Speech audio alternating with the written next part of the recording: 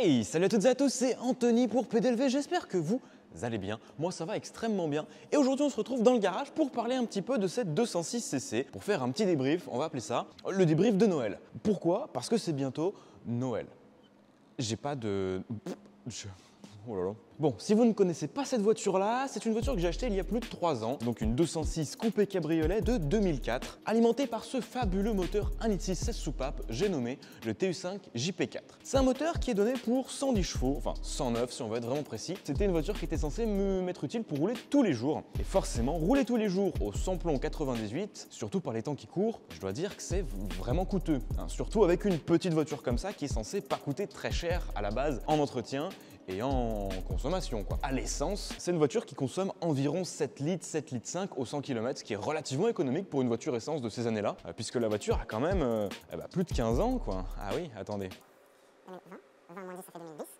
16, elle a 17 ans Mais arrête, ce truc-là, il a 17 ans ça vieillit extrêmement bien. Bref, et donc du coup, vu que j'ai voulu faire des petites économies, j'ai décidé de reprogrammer cette voiture-là pour rouler à l'éthanol. Pour rouler à l'éthanol, comme je l'ai dit dans la vidéo que j'ai tournée il y, a, plus de deux ans de ça, il y a plusieurs solutions. Première solution, on prend sa voiture, on l'emmène à la station, on met de l'éthanol dedans, on tourne la clé et on prie tous les jours pour qu'elle démarre et surtout qu'il n'y a rien qui casse. C'est une solution que je déconseille à 100%. Moi, je vous conseille de faire au minimum une reprogrammation sur mesure. Comme dit précédemment, c'est donc une voiture que j'ai fait reprogrammer pour rouler 100% à l'éthanol. On va dire que dans un centre professionnel, ça va vous coûter entre 300 et 500 euros, peu importe la voiture. C'est les tarifs que j'ai globalement constatés sur Internet. Après, ça peut varier en fonction des régions, en fonction des centres, en fonction des, des marques et ainsi de suite. Voilà, donc déjà, c'est un coût à prendre en compte. Seconde chose à vraiment prendre en compte avec cette manipulation, c'est que quoi que vous fassiez, mettre de l'éthanol comme ça dans une voiture sans carto, ou faire une carto, ou mettre un boîtier, sauf certains boîtiers, c'est une solution qui est complètement illégal. C'est-à-dire qu'en cas d'accident, si l'expert passe, s'il y a vraiment du, gros dégât, que ce soit personnel ou matériel, euh, bah, l'expert il peut juste vous dire mais cette voiture-là sur la carte grise c'est marqué essence, hein, c'est pas marqué bioéthanol. C'est illégal ce que vous faites et vous allez payer toute votre vie. Quoi qu'il en soit aujourd'hui, on n'est pas du tout pour parler de choses légales, pour parler de choses illégales, on est plus là pour faire un débrief. Puisque mine de rien, cette voiture-là a quand même parcouru plus de 40 000 km au bioéthanol, complètement au bioéthanol. Sur ces 40 000 km, j'ai dû faire un demi-plein d'essence parce que vraiment, j'étais au milieu de nulle part, j'étais sur la réserve et je me suis dit là, c'est soit je tombe en panne, soit je mets de l'essence, vraiment. Parce que ben, dans les petites bourgades, il n'y a pas encore forcément d'éthanol de partout. globalement, mettre de l'essence quand on fait une carte éthanol, c'est pas très très bon parce que si vous voulez, je vous schématise ça rapidement. Pour rouler à l'éthanol avec un moteur essence, il faut injecter 30% de plus de carburant, tout simplement parce que le rapport stoichiométrique de l'éthanol est totalement différent que celui de l'essence. Globalement, pour brûler aussi bien que de l'essence, on devrait ajouter beaucoup plus d'éthanol au mélange air-carburant. Pour faire une carto éthanol, on rajoute 30% de carburant en plus à notre mélange. Sauf que si on remplace l'éthanol par de l'essence, eh ben ça veut dire que ça va être beaucoup trop riche,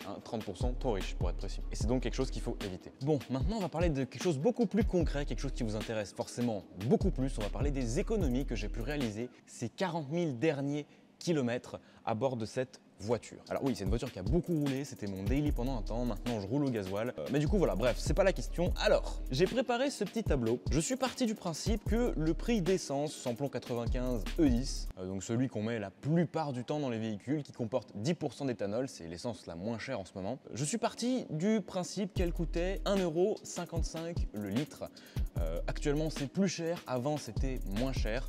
Euh, donc j'ai décidé de faire une petite moyenne et je suis arrivé à 1,55€. Le bioéthanol, lui, n'a pas trop bougé ces dernières années. Quand j'ai eu la voiture, du moins quand j'ai fait la reprog, il coûtait environ 69 centimes d'euros le litre. Aujourd'hui, on peut voir qu'il a légèrement augmenté selon les endroits, mais on peut encore le trouver à 69 centimes le litre. Donc j'ai choisi de garder ce tarif-là. Quand cette voiture-là tournait à l'essence, j'avais une consommation moyenne de 7,5 litres. À l'éthanol, un petit peu plus, je suis à 9,5 litres, ce qui reste globalement très correct, surtout quand on roule à l'éthanol. Si on prend cette consommation et le prix au litre, on peut avoir très simplement le prix pour 100 km. À l'essence, on est à 11,63€ des 100 km et à l'éthanol, on est à 6,56€, ce qui est euh, bah, deux fois moins cher hein, finalement.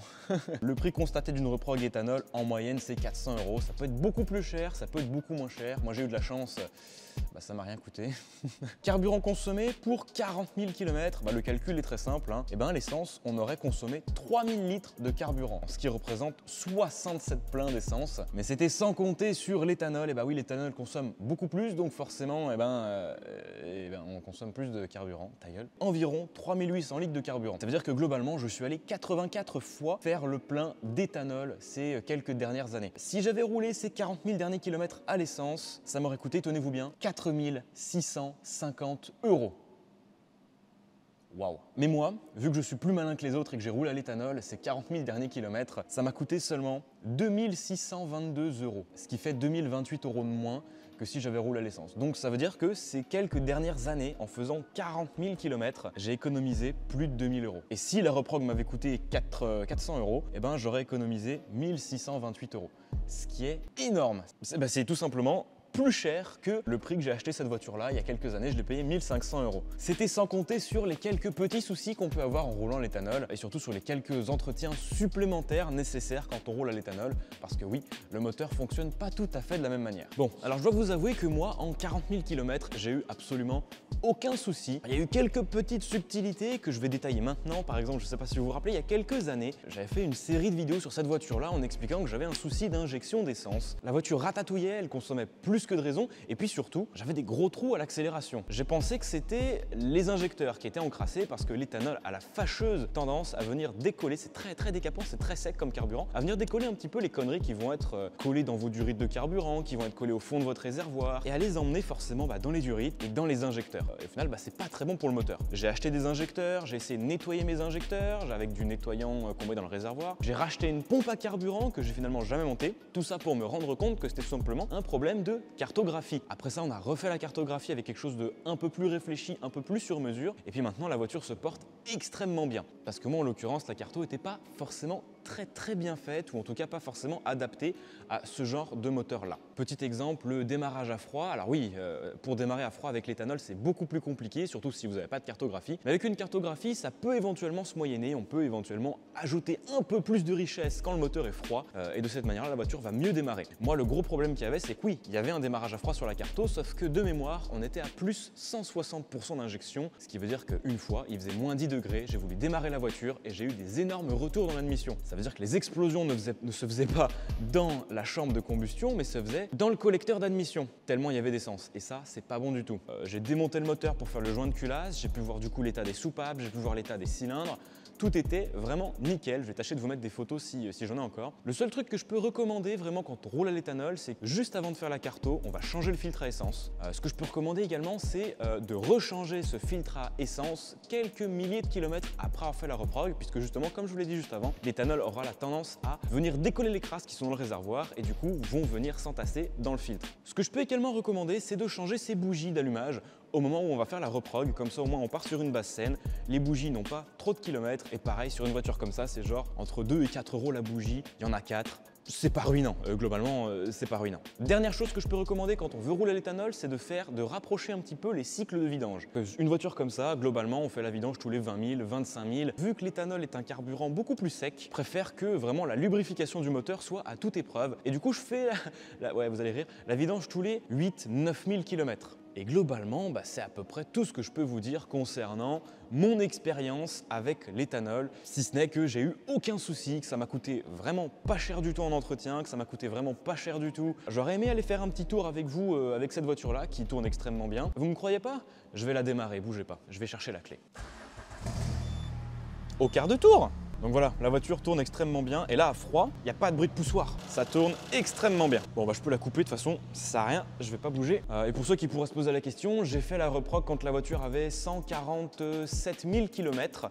Aujourd'hui, elle en a 190. Autre dernier euh, petit élément, moi je l'ai pas fait cette voiture-là parce qu'elle avait que 150 000 km. Mais en l'occurrence, si votre voiture est bien bornée et que vous voulez tourner à l'éthanol, pas de souci. Cependant, il faudrait peut-être vérifier le bon fonctionnement de la pompe à carburant qui se trouve dans le réservoir directement à l'arrière de la voiture. Moi j'en ai acheté une en secours, ça vaut une centaine d'euros. Je peux également vous recommander de la changer si le véhicule a un petit peu de kilomètres. J'espère avoir répondu à la majorité de vos questions. Si vous avez d'autres questions concernant l'éthanol, concernant mon utilisation, concernant cette voiture-là, n'hésitez surtout pas à me le mettre en commentaire. J'essaierai de répondre à un maximum d'entre vous et de mettre les commentaires intéressants en épingle, c'est-à-dire tout en haut euh, des commentaires. On se retrouve très bientôt sur YouTube. Soyez prudents sur la route. Bisous tout le monde. Putain, mais j'en reviens pas, j'ai économisé 2000 balles. C'est incroyable.